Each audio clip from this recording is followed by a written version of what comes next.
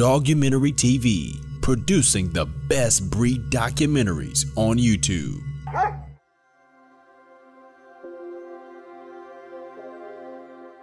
As a dog lover, I can tell you there are many reasons why you should own a dog. Uh, it could be the companionship, camaraderie, the, the daily exercise that you'll get from owning a dog. But many people consider the purchase or the acquisition of a dog for the reason of security. So the question becomes in the real world, does having a dog make you or make your home more secure? Hey, what's going on, guys? This is Zeke. This is Dogumentary TV, and this is the YouTube channel for dog lovers. Uh, today, I'm going to talk about home security. Specifically, I'm going to talk about burglary. The FBI defines burglary as the unlawful entry of a structure to commit a felony or theft. In the United States, there are roughly 2.5 million burglaries annually.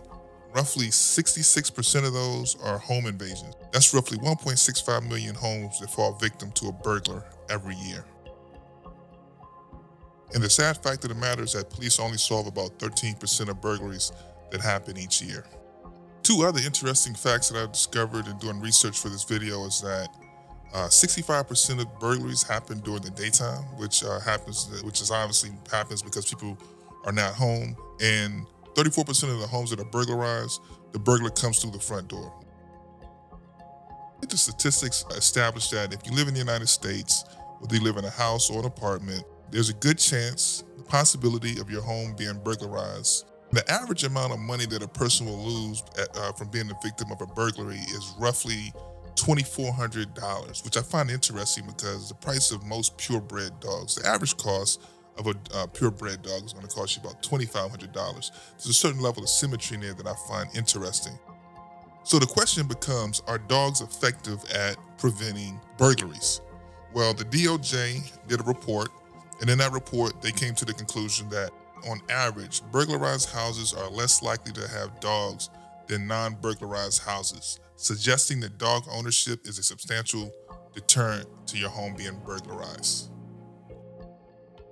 As I did research for this uh, this video, I didn't find much more. I didn't find any specific numbers, any hardcore statistics saying that you know X amount of X percentage of homes that are broken into don't have dogs or do have dogs. So obviously, there's a if you're out there, if you're a researcher, there's a study out there that needs to be done to kind of break down the numbers. But the United States Department of Justice itself has determined that owning a dog substantially reduces the risk of your home being burglarized.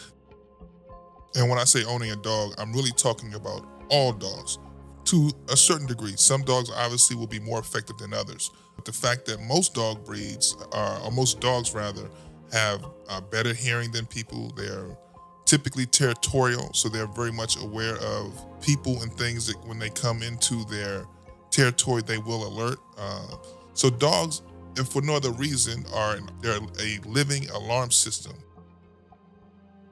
You know, if you, if you have an alarm system on your house, the alarm system is typically triggered by either a motion sensor or someone opening an entryway, whether it be a door or a window, that triggers the alarm to tell them that, hey, someone's breaking into the house. Now, the reality of it is, is that if you're home, most people don't have their alarm on when they're in the house. Uh, so an alarm wouldn't be effective in that sense. But your dog will always be alert to strangers or unwanted company in and around your property. And an intruder wouldn't necessarily have to open a door or crack a window for a dog to alert you to an intruder's presence.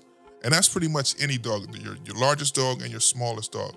So the fact that most dogs can be an early warning system and can also be an audible alert. That right there is a deterrent to somewhat of an effective deterrent. An Oregon television station did a study with 86 inmates who were in who were in jail for burglary, and they did a questionnaire and they asked them, you know, what were the things that kept them away from homes. And the consensus of these, these inmates was that bigger dogs provided a more visual deterrent. And if they saw a bigger dog, they were more likely to avoid that home, and that the smaller dogs didn't necessarily have as much of an effect on them. So obviously, if you guys are looking to get a dog uh, for the purpose of home protection, you will want to start with a dog that is large and territorial and has a very imposing bark.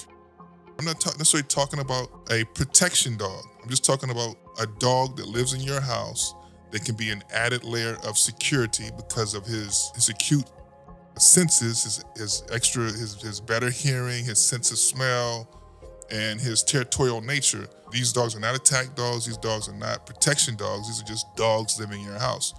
So the fact of the matter is that the U.S. Department of Justice itself says that owning a dog, and we don't need any more reasons to own dogs. If you're a dog lover like myself, you want a dog. So owning a dog is a deterrent and will make your home more substantially safer from a burglar than not owning a dog.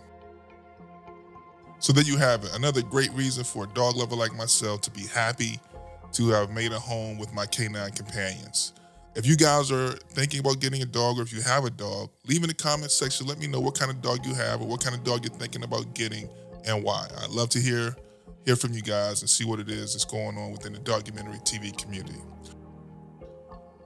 If you're new to the channel and you haven't already, please go ahead and subscribe. Uh, also, do me a favor, hit the like button for this video so we get a little bit of engagement, get more traffic to the channel. Uh, and the last thing, hit the bell, turn on notifications. That way, whenever I drop a video, uh, you'll be among the first to know. I'll see you guys in the next clip. Peace.